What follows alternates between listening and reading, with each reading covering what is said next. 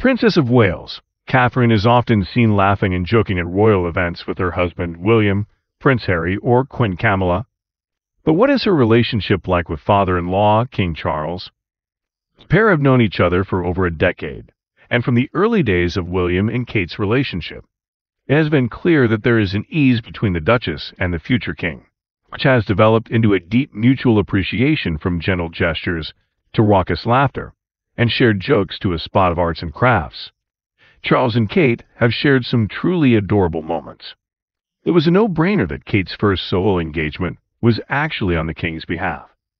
At the time, he referred to her as his darling daughter-in-law, and this affection he feels for her has always been clear. It was believed that funerals are a time of reconciliation and that sight. Let's be honest, that's what many wanted to see. Not least the family itself, one touching moment. Princess of Wales shared a kiss on the cheek with her grief-stricken father-in-law as they leave Prince Philip's funeral. The princess consoled her father-in-law as the pair walked out of St. George's Chapel following yesterday's emotional service. In memory of the Duke of Edinburgh, photographs show Kate comforting the king over the loss of his father by putting her hand on his shoulder.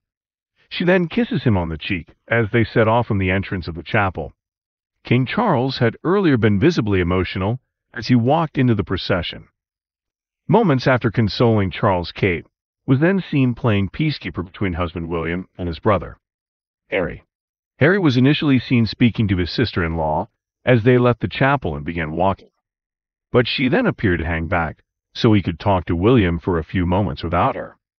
The brothers' discussion came following an impromptu decision by some of the royal family to walk back to the castle despite state cars having been put on for them, and it gave the cameras a chance to see them talk. It is believed King Charles, who usually resides in Highgrove House in Gloucester, had been staying in London since visiting his father in the hospital last month and arrived separately from his wife in a heartbreaking moment.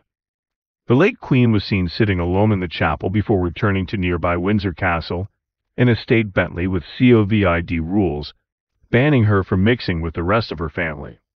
The Duke of Sussex made the 10-hour flight to Britain for the funeral this week, while his wife Meghan, who is around seven months pregnant with her second child, remained in L.A. While plans for a wake been scraped, King Charles, who was emotional before and during the service intends to spend some time with his younger son, perhaps taking him for a walk.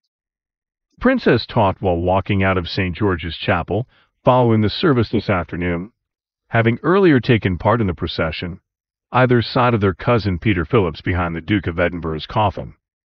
About an hour earlier, the Duke of Cambridge entered the chapel one place ahead of his younger brother, and the brothers were seated opposite one another during the service with William, next to his wife, Kate.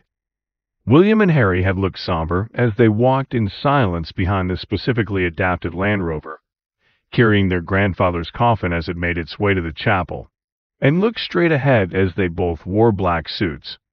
It had been quietly hoped the loss of their beloved grandfather, who both men loved deeply, might start the process of rapprochement. The brothers are not thought to have seen each other before the funeral.